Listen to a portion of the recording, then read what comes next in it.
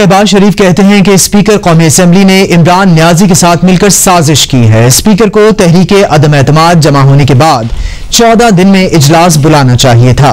शहबाज शरीफ कहते हैं कि स्पीकर कौमी असम्बली ने पीटीआई वर्कर का किरदार अदा किया है, जबकि इजलास में पॉइंट ऑफ़ ऑर्डर पर खड़ा हुआ। स्पीकर ने मेरा माइक नहीं खोला। शहबाज शरीफ कहते हैं कि पार्लिमानी रिवायत अपनी जगह अदम एतमाद पर कार्रवाई करनी चाहिए थी। बकरे की माँ कब तक खैर मनाएगी? इन्हें खुश होने दें। शहबाज शरीफ ये भी कहते हैं कि स्पीकर ने पार्लिमानी रिवायत की धज्जियाँ उड़ाई हैं। शहबाज शरीफ मीडिया से गुफ्तगू कर रहे थे। आपको सुनवाते हैं।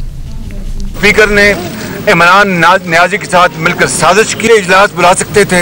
चौदह दिन के अंदर बुलाना आईनी और कानूनी रिक्वायरमेंट थी। आज ये मामला अदालत उजमा में है।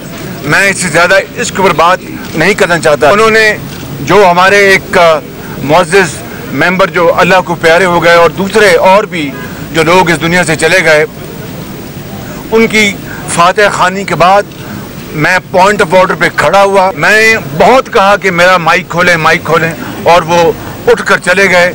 ये है वो स्पीकर का किरदार, जो कि तारीख स्याह अल्फाज में याद रखा जाएगा।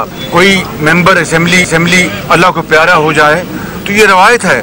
लेकिन आज ये कानून और आइन, वो रवायत से बालातर है। आज एक बहुत आम मौजू था। वोट ऑफ़ नो कॉन्फिडेंस की मोशन के ऊपर वोटिंग होनी थी कि उसको अलाउ किया जाए मोशन को।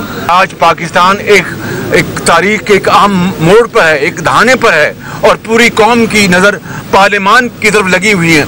ये धांधली के ज़रिए, ये धोंच के ज़रिए, ये आइन को ये मजरू करें, ये कानून को मजरू करें और अपनी मनमानी करें, इसकी इजाज़त नहीं दी जा सकती। स्पीकर ने